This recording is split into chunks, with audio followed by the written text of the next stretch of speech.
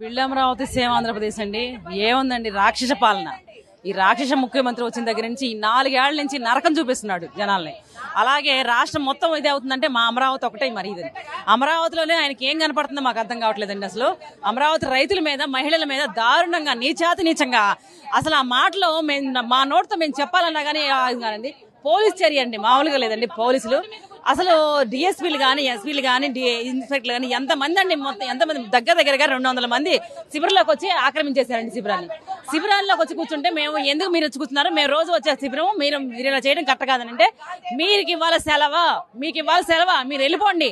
ఇవాళ మా కింద ఉంది శిబిరం అన్నాడు. ప్రైవేట్ శిబిరం కాదండి ఇది మా మా శిబిరం అండి ఇది. మేము కలిసి రోజు డైలీ డైలీగా కూర్చున్న శిబిరం అంటే కాదు కూడదని చెప్పి మమ్మల్ని బయటకు నెట్టేశారండి.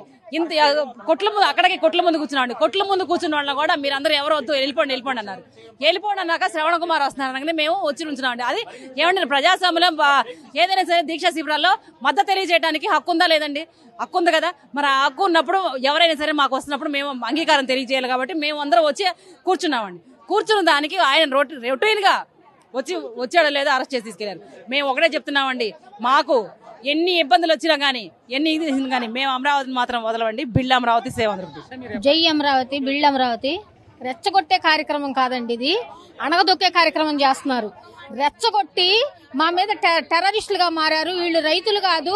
ఎక్కడి నుంచో వచ్చిన టెర్రరిస్టులు అని మా మీద టెర్రరిస్టులు ముద్ర వేసి ఇక్కడ ఉద్యమాలు లేకోకుండా చేయాలని ఒక సంకల్పంతో చేస్తున్న పని ఇది డిఎస్పీ గారు ఒకటే చదువుతున్నా నీకు తల్లి ఉంది పెళ్ళ ఉంది చెల్లెళ్ళు ఉన్నారు కూతుళ్ళు ఉన్నారు నోరు పారేసుకోవటం కాదు. ఇక్కడ లేడీస్ కానిస్టేబుల్స్ లేకోకుండా ఆడవాళ్ళ మీద మీ మగవా పోలీసులు దౌర్జన్యం చేస్తున్నారు. కానీ మీ దౌర్జన్యం ఎన్నాళ్ళు సాగదు. ఒక సీఎం మీద చెంటు భూమి కార్యక్రమం పంచడానికి వస్తున్నారని శిబిరాల్లో లేకుండా చేయడానికి మీరెవరండి? మీ ప్రభుత్వ స్థలాల్లో కూర్చున్నామా? లేకపోతే మీ ముఖ్యమంత్రి ఇంటి ముందు ఏమైనా కూర్చున్నామా? మా సొంత స్థలాల్లో కూర్చున్నాం. మేము శాంతియుతంగా ఉద్యమం చేస్తున్నాం. శాంతంగా ఉన్నటువంటి రైతులు ఏమి చేయలేరులే అనుకుంటున్నారు మీరు. కానీ మీరు ఎంత కొట్టినా ఎంత హింసించినా మీరు ఎంత నోరు పారేసుకున్నా కానీ ఎంత సహనంతో ఉంటున్నాం అంటే గాంధేయ మార్గాన్ని మేము అనుసరించుతున్నాం. శాంతియుతంగా మా అమరావతిని మేము సాధించుకోవాలని చూస్తున్నాం. కానీ మమ్మల్ని అటు సాధించుకునేటట్టుగా చేసేటట్టు లేరు మీరు. మమ్మల్ని రెచ్చగొడుతున్నారు. ప్రాణత్యాగానికైనా సిద్ధపడతాం. ఎన్ని హత్యలు జరుగుతాయి అన్ని హత్యలకి ప్రత్యక్ష సాక్షులు మీరే అవుతారు. మీరే కారణం అవుతారు మీ గవర్నమెంటే కారణం అవుతారు డిఎస్పీ కారణం అవుతారు ముఖ్యమంత్రి కారణం